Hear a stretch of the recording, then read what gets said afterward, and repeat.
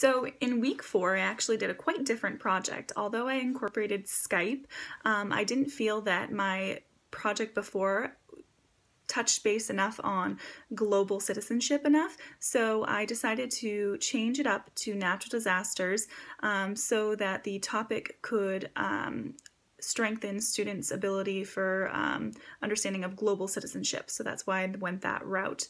Um, it is similar in the sense of the topic and what I've done in my classrooms before. I have studied natural disasters. We've created YouTube videos of weather reports on the causes and effects, how to prepare, all that good stuff. But what was missing was um, how we can help others, what we can do for others.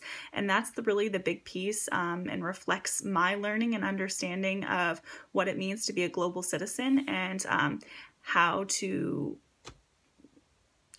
um, inspire students to think like a global citizen and think about what it is that they can do for others um, and use their learning to motivate them to think like that.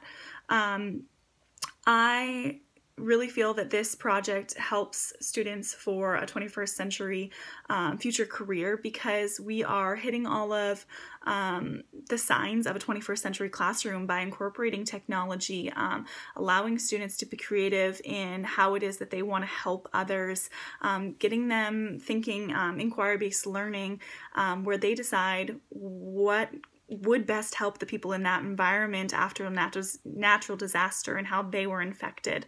Um, they're problem solving. Um, they're using transparent assessments where they know what it is that's expected of them throughout the process. Um, and, you know, it just gets them thinking like a global citizen.